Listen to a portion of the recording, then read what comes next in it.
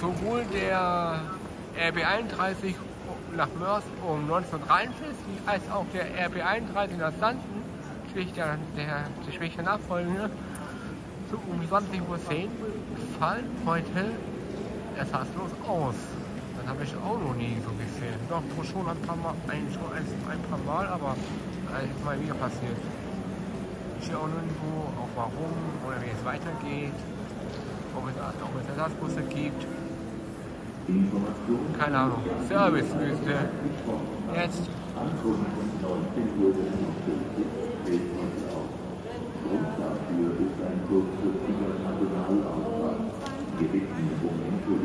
Standardausrede, Standard, absolute Standardausrede der, der, nee, der Transdev, wie heißt der Rhein-Ruhr-Bahn?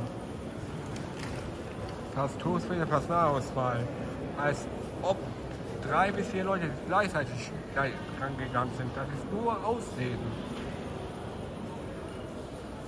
Meiner Meinung nach.